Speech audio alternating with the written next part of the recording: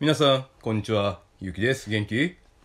え今日はね皆さん一度はねあのエコノミストの表紙で見たことあるこの G マークのね暗号資産まあデジタル通貨ですよね、このデジタル通貨ゴブコインと言います。ね。だダサいね名前ね。ゴブコイン。ね。ゴブコインとは何なんでしょうかっていうことについて話していきたいと思います。はい、では早速読んでいくね。CBDC 中央銀行デジタル通貨とも呼ばれるゴブコインは連邦政府の中央銀行によって発行され支えられたデジタル通貨です。彼らの開発は主に一般の人々に気づかれませんが彼らは ATM の発明以来金融の中でも最も革命的な革新であると期待されていると、うん。えゴブコイン。とは何何か、え政府発行のデジタル通貨はユーロや中国人民元など確立された通貨に結びついています。ゴブコインという用語は特定のコインのラベルではなく多くの異なる国や地域のデジタル通貨の概念の総称です。ゴブコインズはより早くより安くより安全な支払いシステムで促進するために開発されています。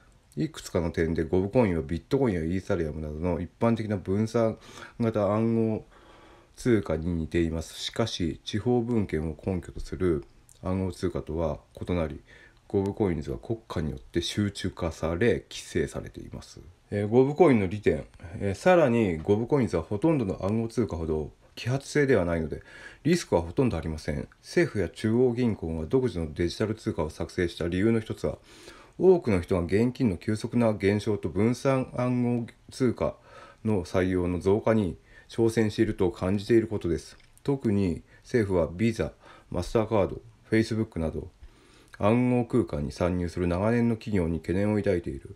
他の懸念事項の中で匿名の取引方法は違法行為を促進し金融システムを損なう可能性があります。ゴブコインは何をしますか、えーゴブコインはビットコインが最初に導入したブロックチェーン技術を採用しガバナンス目的で使用しブログローバルバンキングシステムの運用コストを削減し年間アカウントあたり約350ドルに達します。この新しい支払い方法を通じて政府は全ての支払いさらには個人の取引履歴全体を監視することによってある程度の制御を取り戻すことができます。これは現在商業銀行に資金を供給する主な任務を持つ州と中央銀行に電力を移しそれらの銀行を通じて個人的に取引が行われます。人のお金は破綻する可能性のある銀行ではなく州によって直接保証されます。新しいシステムは脱やマネーロンダリングなどの金融犯罪を軽減するためにも使用される可能性があります。ビットコインと同じブロックチェーン技術だってよみんな。ね。でそれはねその分野を統治する。ね。あの司るために、うん使用すると。ね言ってるね。中央銀行はグローバルバンキングコストを削減することでゴブコインは現在事業を行っているほとんどの国よりも包括的な銀行システムを作り出すだろうと主張している。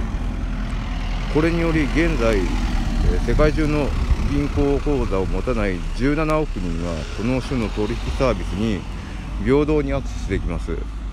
クレジットカードとは異なりゴブコインは取引手数料を伴わないし手頃な価格のローンやその他金融特典を提供しています。最終的に完全にキャッシュレスになる政府はこれ以上紙幣を印刷したり保管したりする必要はなくなり廃棄物を削減し環境を助けます。さらにデジタル通貨のみを使用することは現在の CD19 ミックスピザの間に注目を集めているより衛生的であろう。ゴブコインユーザーは ApplePay や PayPal に似たアプリの形でデジタルウォレットにお金を保存することができます。そのためユーザーは商業銀行の銀行口座を必要としなくなります。すべての取引は中央銀行を直接通過し銀行業務プロセスをシンプルかつ便利にし国境を越えた取引にも適用されます。最終的にはゴブコインも普遍的な通貨を進める可能性があります。通貨の評価をしている国の住居者は自国通貨よりも米ドルのような安定した貴重な通貨を選択することができます。 Govcoin ユーザーっていうのはさ俺たちにも入ってるわけだからさね。 Apple Pay とかあの PayPal に似たアプリの形でスマートフォンに、うん、インストールしてでそこであのお金を管理して、ね、中央銀行と直接やり取りするんだってねみんな。政府は、えー、政府の使用により金融政策を変革する力を持つ可能性があります。金利などの現在のツールとは対照的に電子鑑定科目は中央銀行にシステミックリスクとマネーサプライをより正確に制御し経済行動を微調整することを可能にします中国の最近の裁判では何これ E なんとかは直接支出を推進するために有効期限でプログラムされました経済行動を微調整する。ね皆さん。俺たちの行動をね調整することを可能にしてるって書いてある。おそらくそういうことで経済行動だから。ね、うん、その例として中国の判例では裁判ではこの E なんとかっていうのはね、うん、有効期限のプログラムがされてましたって。これなんとかって調べればねあのあんまりよろしくないことが出てくるんじゃないの？俺たちにとっては。ねあの FRB っていうかこれを作った側にはさ超あの都合がいいことでしょ。要するに。ね。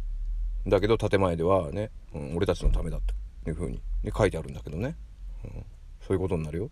いわゆる中央銀行中央銀行である国際決済銀行が行った調査によるとゴブコインプロジェクトは中央銀行の90%近くに支えられこの割合は着実に伸びている。中国。2021年初頭に暗号を大幅に取り締まった中国はゴブコインの実装に関しては紛れもないリーダーです。同国はすでにライブトライアルを開始している唯一の主要経済国でありすでに50万人以上の人々がすでに少量の、うん、これデジタル人民元だねを受け取っています。使用版の参加者はアプリをダウンロードし特定のアウトレットでこれらのデジタル資産を利用するために QR コードを提示する必要があります。他の理由の中で中国の野心は政治的に誘発され米ドルの力を減らすことを目指している、うん、2021年の4月ぐらいだったかな。なんかあの中国の政府たちが集まってあのやる大会っていうかあのがあったんだけどどこだったか忘れたけど、うん、そこであのそれをやる前にその近辺にあるあの地方のえー、国民たちにデジタル人民元を配ってあの使用することをねテストしたっていう事例があります実際にね。バハカンボジア EU バハはバハマのことでしょう、えー、バハマって書いてあるから。世界のほとんどの中央銀行は少なくとも独自のデジタル通貨を立ち上げるという考えを探求してきましたが新興市場は多くの場合市場や工業国の発展よりも研究が進んでいます。バハマ2019年後半に3ドドルを発売とカンボジア2020年にバコンを立ち上げた。は先駆的な国の一つです。しかし米国も欧州の5大経済大国ドイツフランスイタリアスペイン英国も大きな進歩を遂げてきたわけではない。全てのヨーロッパ諸国の中でスウェーデンは最も多くの研究を行っています。国は早ければ2023年に e クローナの使用を開始する予定です。欧州連合は2年後に e ユーロを発売する予定です。エルサルバトルパラグアイパナマなどの国々の反対の道を進み支払い方法としてビットコインを広く受け入れてきました、うん、アイデアが革命的に見えるかもしれませんがゴブコインはほとんどの先進国で非常に予備的な研究しか見てない。全てのテストフェーズが成功すればこの新しい取引方法がほとんどの工業国にとって現実になるまで多くの時間が必要です。多くの人々は米ドルユーロ英国ポンドなどの今日の安定した最も価値のある通貨が価値と権力を失う可能性があることを懸念している。イングランド銀行によると英国でゴブコインを実施した後でさえ CBDC は現金や銀行預金と一緒に存在しそれを置き換えるのではなく存在する同時に他の多くの国は最終的に完全にキャッシュレスになる可能性があります。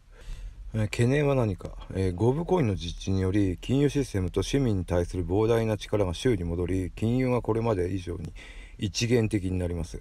また全てのユーザーの財務履歴全体が周に知られているため多くの専門家がデータのプライバシーに重大な懸念を抱いています。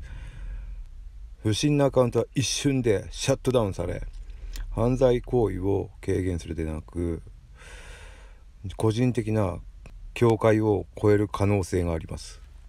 より集中化された金融システム。商業銀行は上記のようにゴブコインが彼らの存在に大きな脅威を与える可能性があるため懸念しています。多くの人々は商業銀行の代わりに中央銀行の安価な安全なサービスを使用することを決定することができます。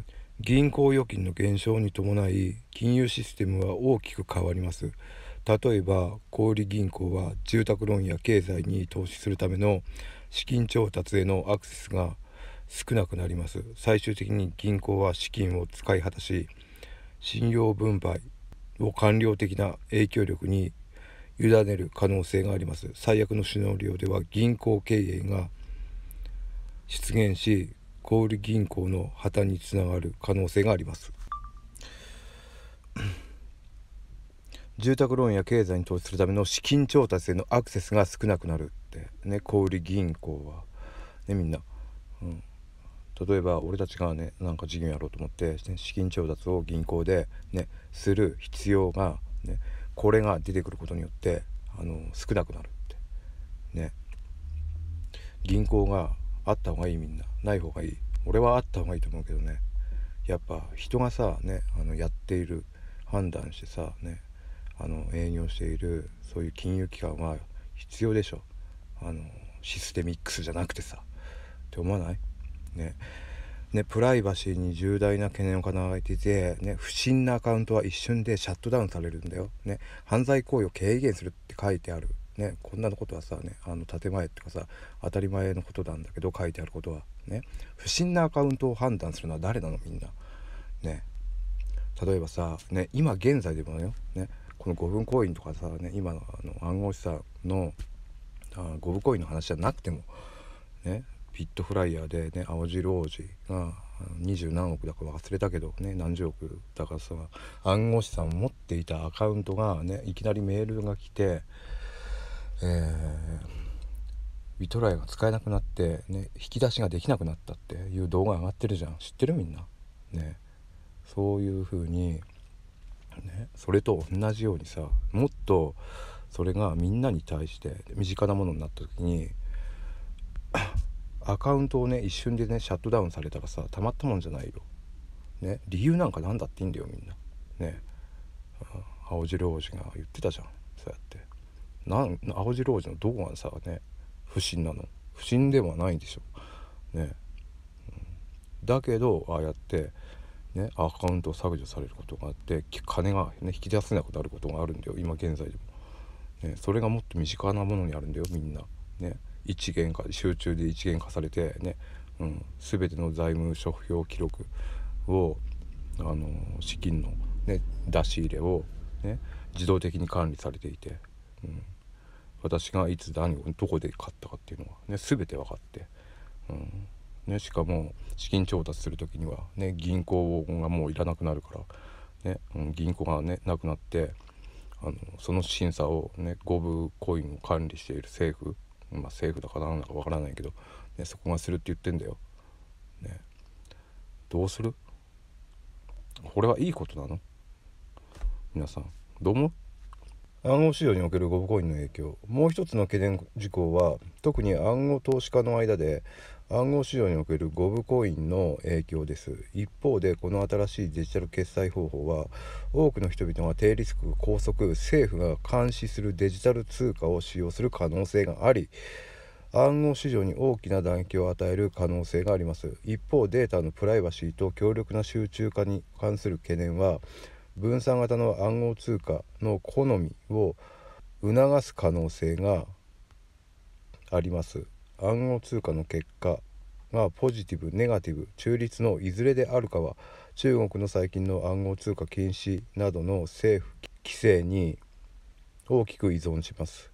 いずれにせよ広範囲にわたるゴブコインの実装に対して最も虚弱な暗号通貨はテザーや XRP などの安定したコインのようなデジタル決済分野でのみ、えー、作動する暗号通貨です。全体として暗号市場は投資機会として全体的な価値を失う可能性は低い。私たち暗号投資家へのゴブコインの影響ね。えー、この新しいデジタル決済方法は多くの人々が低リスク、え、高速政府が監視するデジタル通貨を使用する可能性がある。デジタル通貨を使用する可能性がある、うん、デジタル通貨どれを使用するのかねみんな。ね。で出てくることによっての影響はねテーザーと XRP にとってはあまり良くないと、ね、邪魔、うん、いらない。っていうふうに。ね、うん、ふうにあの暗号投資家なら思う。ような力を持っている。っていうことです皆さん。ね、だけど全体的な価値を失う可能性は低いです。暗号市場全体の価値を失う可能性は低いっていうことです皆さん。ね。けどテザーに何かあったらビットコイン暴落するよ。ね、うん、裏付けなんだからさ。ね。はい。ということです皆さん。結論ね、えー、ゴブコインは高速で安価で低リスクの取引サービスを提供するように設計されています。彼らの導入または現在銀行口座へのアクセスを書いている無数の人々のための包括性を意味します、えしかし国の通貨を開発するために開始された多くの政府のプロジェクトはあまり進んでいない。多くの発展途上国特に中国はおそらく洗練された西側諸国の多くよりもこの点ではより多くの進歩を遂げてきました。この進歩の欠如はドルやユーロのような今日最も安定した貴重な通貨が価値と力を失い中国や電子人民元のような国に移転するかもしれないという懸念を提起する。さらに多くの人がデータのプライバシーと国家に有利な不均衡な権力シフトを懸念しています。これらの懸念は政府が中央銀行に対する不信感を回避しより多くの人々がより匿名の暗号通貨に目を向けることを防ぐためにプライバシー法を作成し拡大する可能性があるってよ、うん、いずれにせよデジタル通貨は完全な能力に発展するに違いありませんって、うん、シカゴ大学ブーススクール・オブ・ビジネスのランドール・クローナ教授によるとデジタル通貨革命は地方分権と市場勢力の勝利か中央集権化と政府監視の勝利の2つの方向に向かう可能性がある、はい、これを全部読んだ結城のね感想を言うとね、うん、貴金属を持ちましょうってことです皆さん。ね。これはあのデジタル通貨革命が好きでも、ね、嫌いでも暗号資産を、ね、好きでも嫌いでも投資をしていても嫌してなくても、ね、どうであれゴールドやシルバー貴金属をあの現物を持った方がいいってこと。ね。ゴールドの延べ棒をたくさん持ってって言ってるわけじゃないよみんな。ね。あの今中国だかでさゴールドの、ね、金の玉みたいな。金玉。ね、ゴールドのボールみんな状になったね。あのゴールドをガラスの瓶にこう貯めている人たちがいるっていうニュース見たことあるんだよ。ね、だから俺たちもねシルバーでもゴールドでも貴金属をさね。あのもっとお金持ちになった時にそれをね変えてあの持つようにした方がいい。今お金持ちの人はもうそうしてるはずでしょ。例えばあの記念コインとかさあるじゃん。ね。ゴールド。シルバー、ね、プレミアム。コインとかさちょっと流行ってるじゃん。そういう金の現物を持つっていう。シルバーの現物でもいいし。それを持ってた方がいいでしょうって思うね俺は。ね。じゃあそういうことで今回はゴブコインはビットコインと同じアルゴリズムを使うってことと、ね、それに伴って、ね、いろんな話をしました。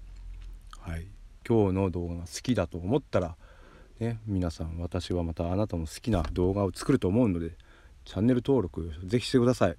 で SNS でもしよかったら拡散してください。はい、じゃあね。はい皆さんおまけいこうか。ねこれ S&P500 だけどさね落ちてる。ねこっからずっと落ちてきてるの。ね、すごいよこれみんな、ね、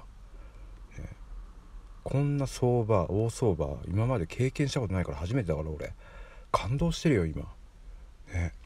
だけどさこのあとねどっかでさまたさ上昇始めんだからね皆さんそれに待機してね。はいじゃあちょっと暗号見ていこう。はい皆さんおまけいこうか。XLM の JPI ね。これ週足な週足。ね。うん。今日上がってきてるね。うん今20円ぐらいか？21円ぐらい。ね。うん。このラインで待機した方がいいね。